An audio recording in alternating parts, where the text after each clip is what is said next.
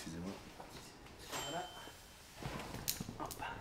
Petit à petit, on a un discours qui devient plus ambitieux politiquement au fur et à mesure que les, les victoires s'accumulent. Écoutez, euh, il faut être clair, aujourd'hui, d'un point de vue économique, aujourd'hui le mouvement est proche de Bangui, hein, il est au, presque aux portes de la ville, il est à quelques dizaines de kilomètres de, de la capitale, et euh, le discours est plutôt euh, pour dire, bon, bah, Bozizé, c'est fini, euh, ce qui veut